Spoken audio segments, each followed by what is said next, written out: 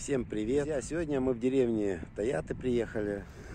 Хотелось взять интервью у какого-нибудь местного жителя. И возьму, наверное, тот, кто попадется мне первым. Друзья, сегодня мы в Таятах. Вот, и встретили удивительного человека. Я прям вот хочу несколько вопросов задать. Ну, вначале представьтесь, как вас зовут. Иван Сафронович Соломенников. Э, Ну, вы здесь Пенсионер уже, да. И здесь я и родился. Это спасибо председателю, главе администрации Иванову Федору Поликарповичу. Вот он этим заведует. Вообще, он молодец насчет этого. Ну, глава, есть глава, все это. То есть человек, который болеет за свою да, деревню, да, за свою да, вот, деревню, да. вот не просто так там. Да, да, не и- просто так. Все, вот он молодец насчет этого. Здесь. Вот Всё. как отношения вот у вас э, с виссарионовцами, они тут, ну, Да, местные? отношения нормально, но у них своя вера, своя вера, и все так. Но я-то хоть это, я другой веры, старовер, истинный, как все это, все это, ну, по- по-старославянски все это. А к виссарионам относимся нормально, с пониманием. Как бы дружат, да, люди да, как бы так дружим, же. да. И, и даже вот у меня племянник на Виссарионовке женился, все это, как все это.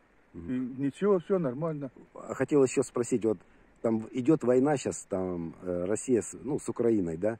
Ну, вот как, как вы думаете, вот надо было начинать эту войну, не надо было начинать? Ну, чисто ваше мнение. А, чисто мое мнение. Да. Ну, я просто, что это братоубийственная война не должна бы быть вот так вот все это. Надо было как-то это все миром согласовать, все это, все. Но раз уже там уже и наемники, и с Канады, с Америки, с Кубы, от- откуда только нету. Даже и те же и эти украинцы, которые пособники эти, бан- бандеры вот это, недобитые были, типа, что это так вот. Но вот эта вся нечисть вылезла, блин, сейчас. А Америка на этом зарабатывает, блин. Посылает оружие и все. А здесь это, как сказать, все, ну, Россия, ну, так-то и не должно бы быть. Но просто Путин хочет, чтобы граница была нормально у нас все это. Чтобы, а то это, Украина будет э, в этом, в НАТО там все. Здесь уже все, сразу ракеты, вот они все, размещение будет все. Я как этот истинный патриот, я и пограничник, все это. И просто хочу, чтобы Россия, она крепла и процветала, чтобы было все хорошо у нас. Спасибо большое за то, что мне отказали дать интервью. До свидания. До свидания. А здесь уникальное место, где матушка природа открыла Это нам вообще чисто голубую глину. Видишь? Вообще шикардос. Ну, это с водой вообще прям. Мгм. Жирная, в общем. Ну, вообще, ну, слав.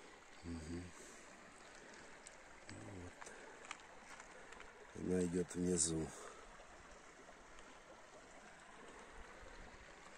Блин, если смотреть, какая вода.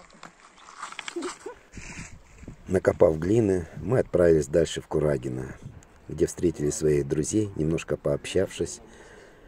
Посидев в кафе, мы поехали в свою родную деревню, Гуляевку.